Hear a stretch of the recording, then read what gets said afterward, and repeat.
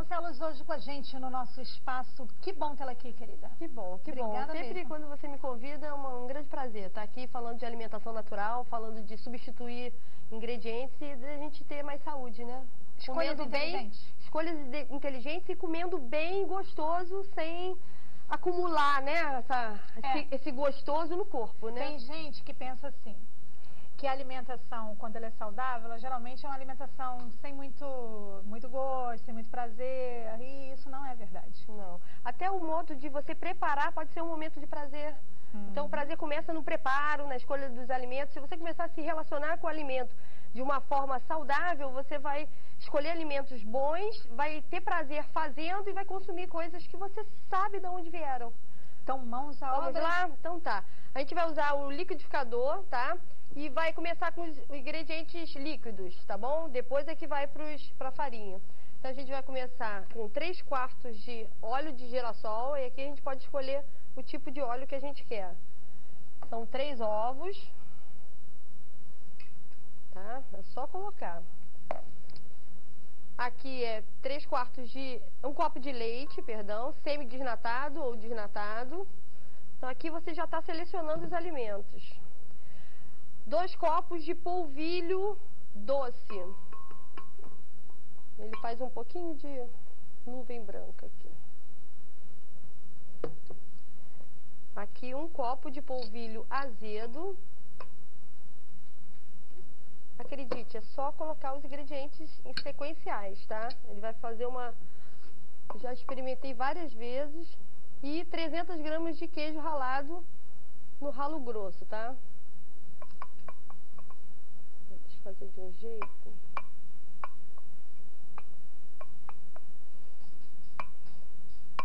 Agora é só bater.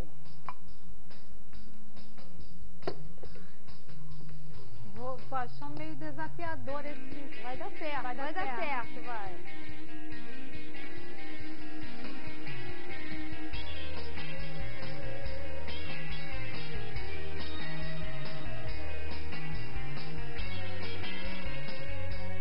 Aqui a gente vai abrir para envolver o, os É, porque sólidos. tem um sólido...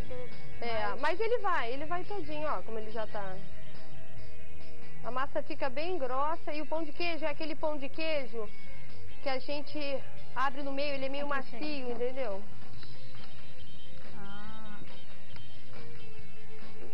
Basta umas duas mexidas dessas e já tá bom. aqui, ó, pra você tirar isso. Obrigada.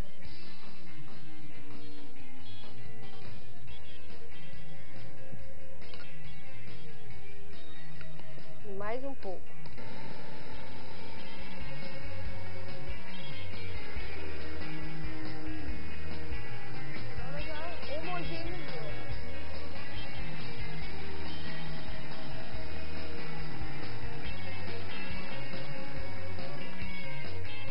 Mais um pouquinho. E a gente acaba.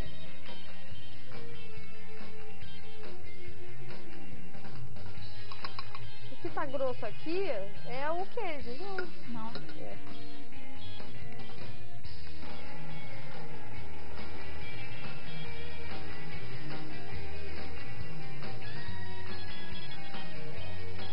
Já, vamos fazer o seguinte, vamos dizer pra ela Ah. o que, que ela vai precisar pra fazer o pão de queijo lá? Perfeito. Então, dá uma olhadinha.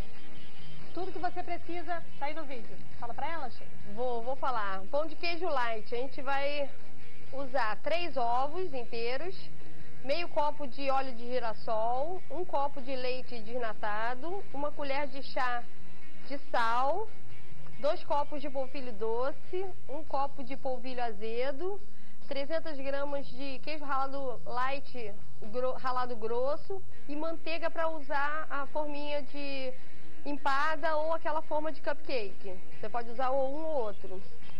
Agora eu vou incluir um ingrediente que eu não coloquei e que você pode também é, colocar é uma colher de chá de sal. Mas se você tem problema de hipertensão, você diminui. Até porque Quando o queijo ralado tem um pouquinho Já tem um de sal, pouquinho né? de sal. Então, a vantagem de você cozinhar, você pode fazer uma comida personalizada da sua necessidade, ao seu gosto, ao seu paladar, em vez de co comprar uma comida pronta. Muito bem.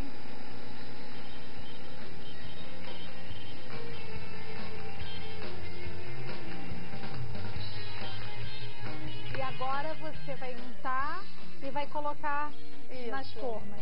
Então a gente vai fazer o seguinte, você que está curtindo com a gente, a gente vai pensar agora um pouquinho sobre a saúde do homem.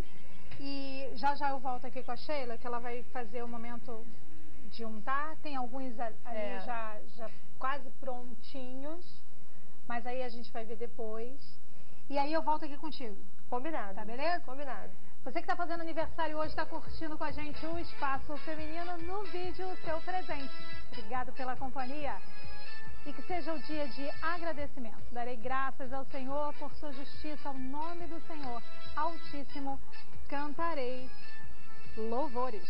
É o Salmo 7, o versículo 17. Felicidades.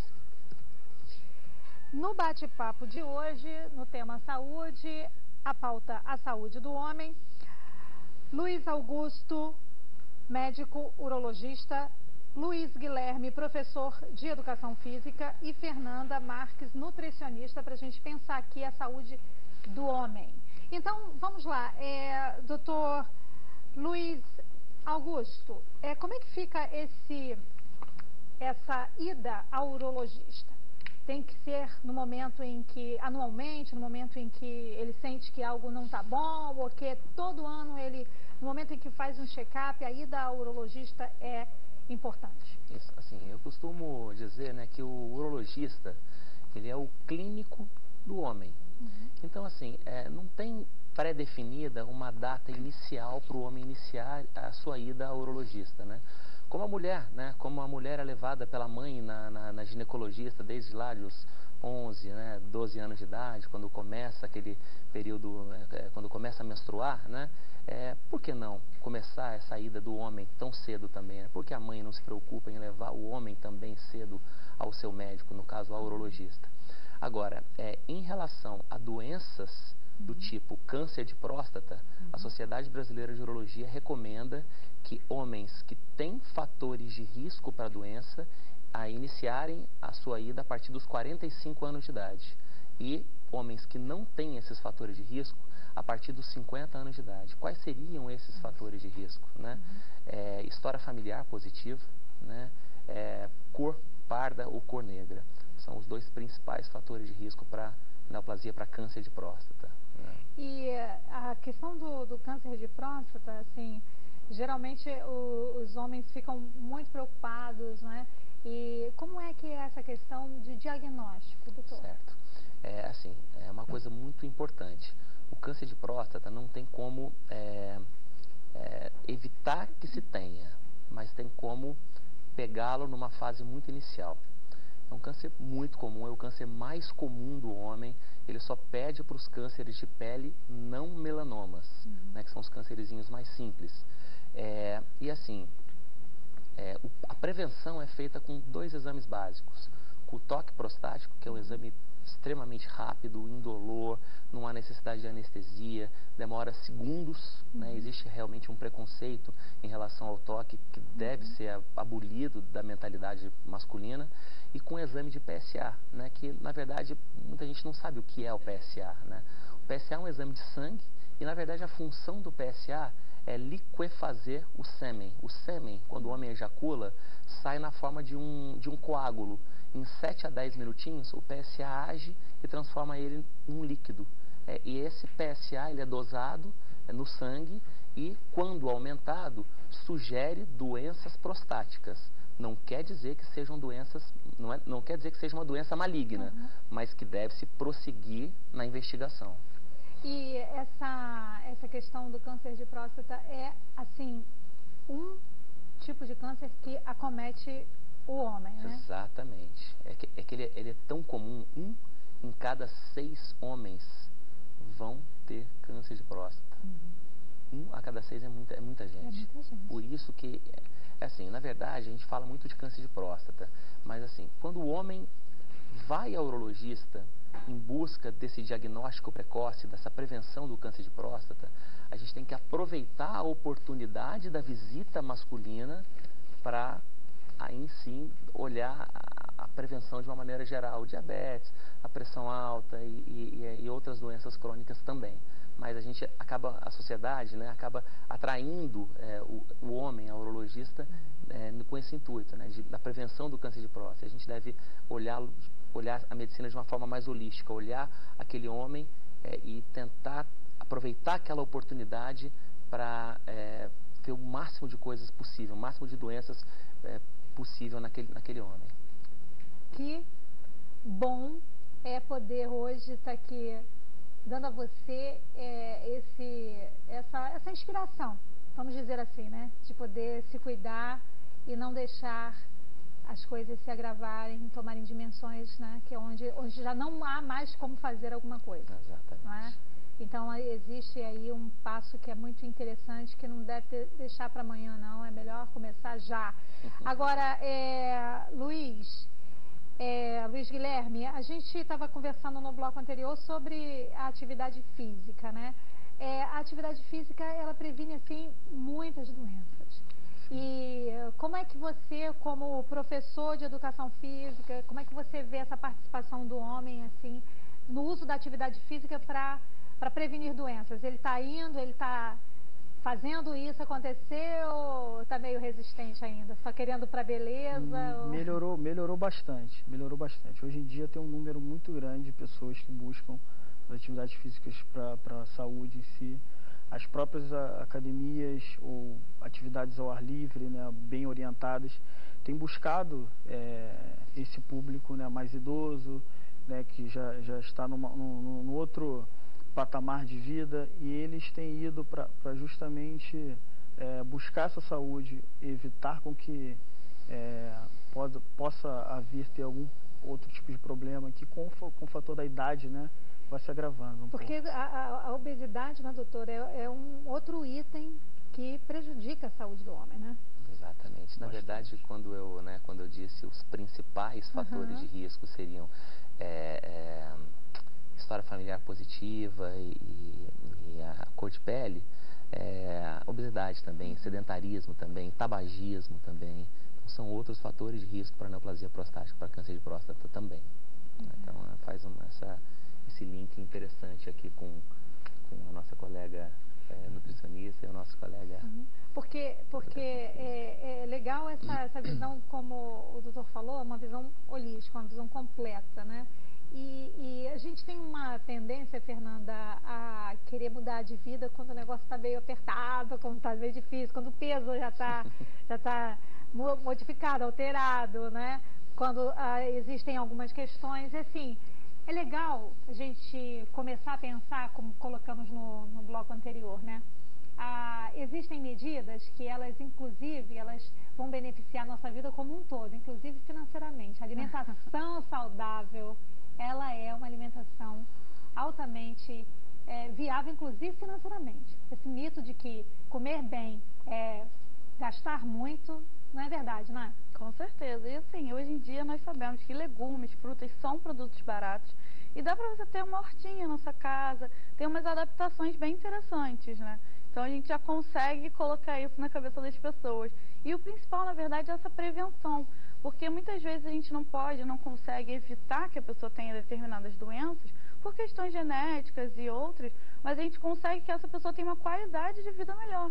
Então, se ela vir a desenvolver esse tipo de doença, ela consegue contornar bem, ela consegue um tratamento mais eficaz, tudo também através da alimentação. Alimentação para a mulher, a gente sabe que a mulher ela tende a, né, a fazer essas opções, enfim. No seu consultório, quando atende homens, você percebe que as resistências estão diminuindo quanto a, a comer melhor, mais saudável? Como é que fica? Engraçado que assim, eu observo muito que geralmente eles vão acompanhados de suas esposas. Porque geralmente essa questão de é, trabalho culinário, né, os domésticos ficam mais voltados para o público feminino. Então, quando elas começam a introduzir a alimentação saudável em casa, a aceitação deles é muito alta. Legal. Eles conseguem, assim, aderir bastante ao plano alimentar, então se torna uma coisa fácil. Né? Em contrapartida das mulheres, a gente já observa a diferença, porque assim, depende delas, né?